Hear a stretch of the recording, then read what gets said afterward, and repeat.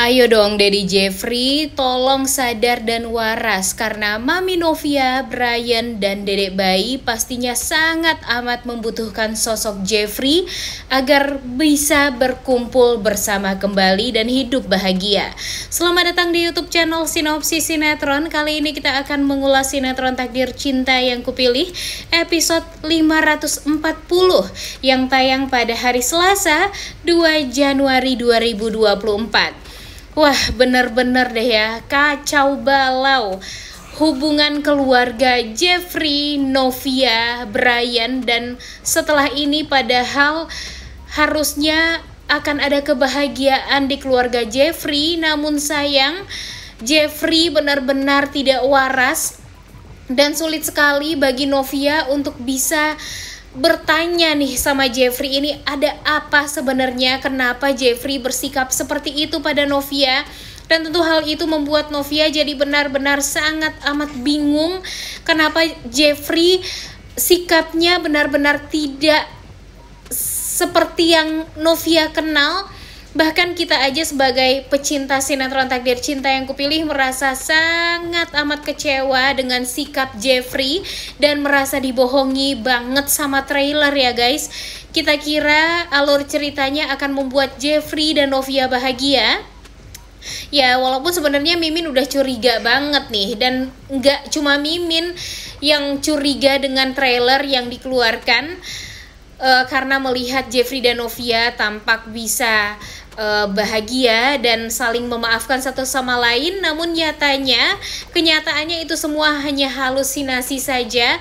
Dan tentu hal ini membuat kita tuh benar-benar sangat amat kecewa dengan alur ceritanya.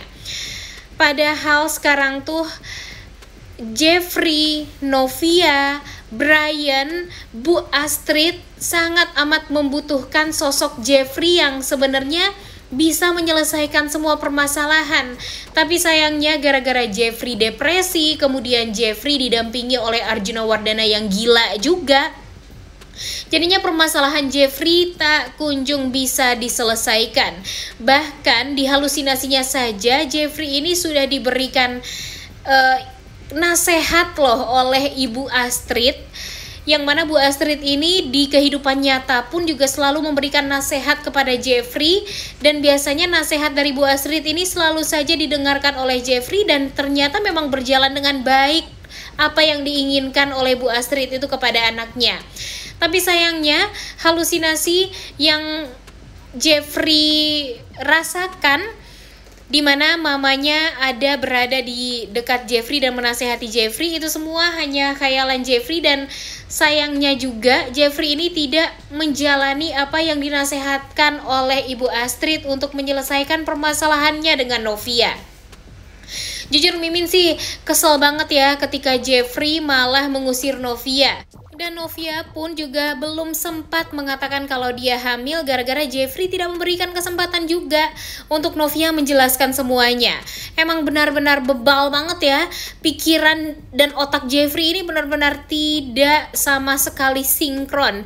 Dan ini membuat kita tuh jengkel banget. Padahal di sisi lain, Brian pun sekarang benar-benar sangat kasihan banget nih. Nasib Brian ini benar-benar tidak bisa kita bayangkan ya guys kalau anak sekecil Brian ini sekarang harus hidup dengan orang yang tidak dia kenal dekat. Ya emang sih Oma Nilam dan Ontinada itu adalah keluarga dari mama kandungnya Brian. Tapi kan mereka dulu sempat tidak mau bertemu dengan Brian dan mencari-cari alasan mereka bilang sibuk lah makanya nggak pernah melihat Brian dan menjenguk Brian padahal emang mereka aja nih yang nggak pernah memikirkan Brian dan malah sibuk dengan dendam karena Roni selingkuh dengan Miranti. Padahal kan mereka juga nggak tahu kebenarannya seperti apa. Makanya nih sekarang Brian benar-benar kasihan banget nih guys. Brian ini butuh Novia, Jeffrey, Arjuna dan Bu Astrid karena dia sangat amat merindukan kasih sayang yang tulus dari keluarga Wardana. Tapi gara-gara Jeffrey sekarang suka berhalusinasi, depresi dan ya bisa dibilang tidak waras ya. Jadi semuanya jadi nggak bisa fokus untuk mencari Brian padahal kan tinggal selangkah lagi nih jika Novia baikan sama Jeffrey kemudian Jeffrey tidak mencari-cari masalah seperti ini. Kemudian Arjuna pun juga tidak menambah-nambah permasalahan terhadap Jeffrey dan Novia. Tentu mencari Brian pun akan lebih mudah juga. Makanya nih sebenarnya alur cerita sinetron takdir cinta yang kupilih ini ya bergantung kepada kekompakan keluarga Wardana. Kalau keluarga Wardana ini bisa kompak dari awal, pastinya semuanya bakalan terus-terusan bersama dan tidak akan pernah bisa berpisah. Tapi ya awalnya kan emang gara-gara Arjuna Wardana ya Gara-gara Arjuna terlalu egois Kemudian dia merasa dia tidak mau mengambil resiko sedikit pun Tapi tanpa memikirkan perasaan orang lain dan apa dampaknya terhadap orang lain Ya sekarang dampaknya malah jadinya ke keluarga dia sendiri tapi sayangnya yang bikin sebel itu ya Arjuna Wardana ini tidak sadar kalau apa yang dia lakukan selama ini itu ya sekarang inilah akibatnya. Keluarga Wardana jadi terpecah belah. Bu Astrid dengan Danang, uh, Brian dengan Oma Nilam dan Onti nadanya dan selalu terkekang dan sekarang sangat amat merindukan keluarga Wardana. Novia juga diusir sama Arjuna Wardana dan Jeffrey sekarang dicuci otaknya sama Arjuna Wardana untuk membenci istrinya sendiri. Padahal ya Jeffrey ini bukan orang yang jahat. Jeffrey ini hanya butuh seorang psikiater untuk bisa menyelesaikan permasalahannya dengan Novia. Tapi sekarang duh bener-bener deh ya gara-gara Arjuna Wardana sih kalau Mimin lihat nih ya Emang sih kita tuh tahu kalau dalang dari kecelakaan Iyah yang terjadi itu ya gara-gara Bagas. Tapi kan kalau Arjuna Wardana dari awal tidak membenci Novia, tentu tidak akan seperti ini jadinya. Novia pastinya bakalan bisa membantu Jeffrey juga untuk mencari tahu tentang Brian, Bu Astrid. Tapi sekarang ngomong aja Novia nggak bisa nih sama Jeffrey karena selalu saja dihalangi dan selalu saja mudah bagi Jeffrey dan Arjuna ini untuk memotong pembicaraan Novia. Dan sekarang Jeffrey juga baru sadar kalau ternyata Ibu Astrid masih belum ditemukan sampai sekarang dan dia juga mulai sadar kalau selama ini dia berhalusinasi ngobrol sama Bu Astrid.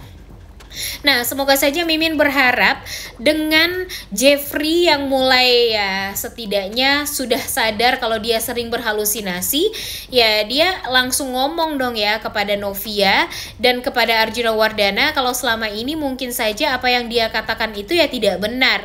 Dan mudah-mudahan saja apa yang pernah dia e, berikan kesaksian kepada pihak kepolisian kalau Novia adalah bos dari Derry di mana Derry adalah uh, tersangka yang membuat keluarga Wardana kecelakaan waktu itu ya membuat Jeffrey jadi kepikiran untuk ke psikiater secepatnya dan meminta surat keterangan kalau dia uh, sedang mengalami depresi dan apa yang dia katakan itu ya tidak bisa dibenarkan seluruhnya.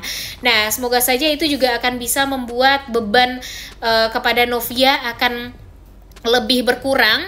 Dan Mimin sih sangat ber amat berharap kalau Jeffrey sih secepatnya bisa sembuh dari depresinya ya guys.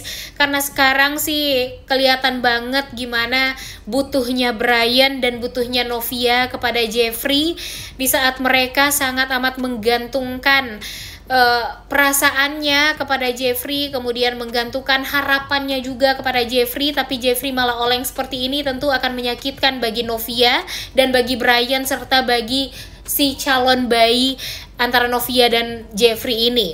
Oleh karena itu, kita berdoa ya, semoga secepatnya Jeffrey bisa sembuh dari depresinya dan bisa memikirkan keluarganya, yaitu Novia, Brian, dan si calon bayi.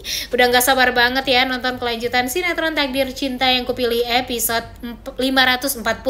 Jangan lupa ditonton dan jangan lupa like, comment, dan subscribe. Thank you.